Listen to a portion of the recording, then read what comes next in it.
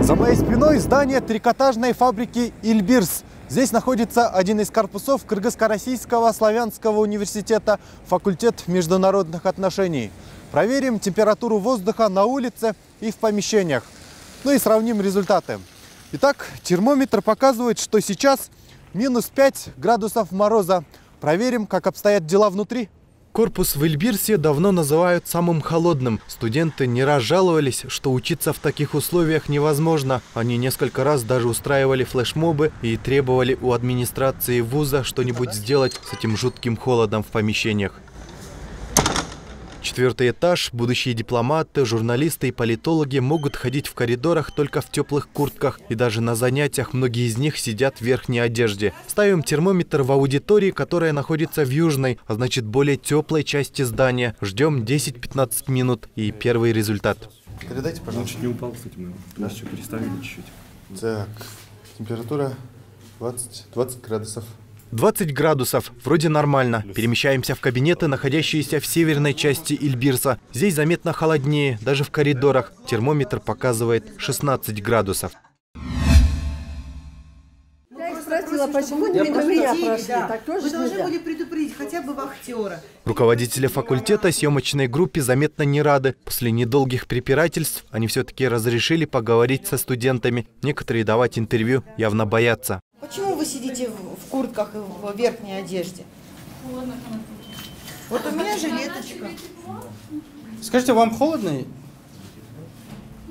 Вы в курсе, что можно еще учиться год? Окей, я еще стипендию получила, может, не надо у меня? Я на бюджете учусь. Но все же нашлись смельчаки, которые решились подтвердить, что в аудиториях им действительно холодно. Были и те, кому все нравится. Если бы нам не было тепло, мы бы не сидели в куртках. Я согласен с ним. На самом деле хотелось бы немного, чтобы было потеплее, чтобы можно было хотя бы не сидеть в куртках и как-то составлять их там же, в том же самом гардеробе, потому что он пустует. Не, а почему вы, например, сидите в куртке? Прохладно. А вам, девчонки, все нравится? Да, да, нормально. В принципе, тепло. Пойдет. Нормально. В Эльбирсе теплее, чем в главном корпусе, допустим. Теплее, чем на улице. Теплее, чем на улице здесь намного. Нет, никаких жалоб нету. Шалов нет, да? А у вас? Тоже нету. В администрации факультета заявляют, что подготовились к зиме основательно. Но почему люди и преподаватели сидят в верхней одежде? Культурный уровень у них такой, считают в деканате.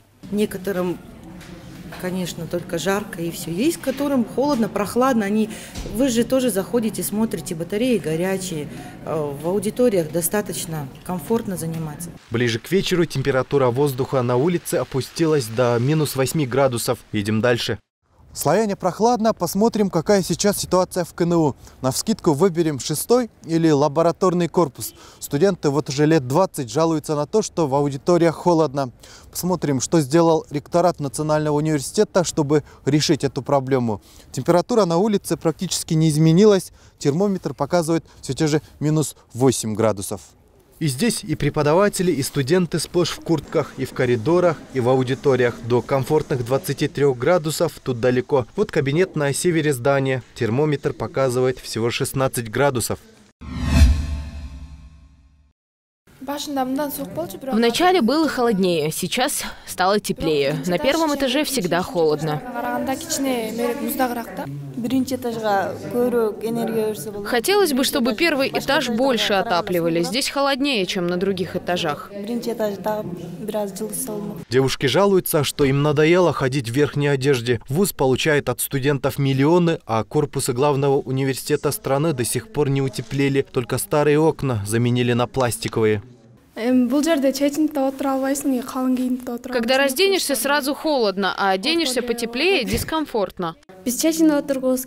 Нам бы хотелось, чтобы мы учились без верхней одежды.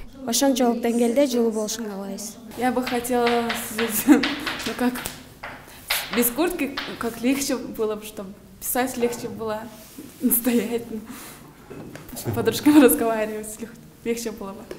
Посмотрим, может быть, в южной части здания теплее? Нет, в громадных аудиториях жуткий холод. На термометре те же 16 градусов.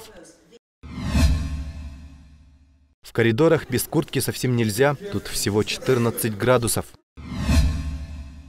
Канат Каниметов, Хусан Гафиров и Урмат Акынбек Улу, телеканал «Апрель».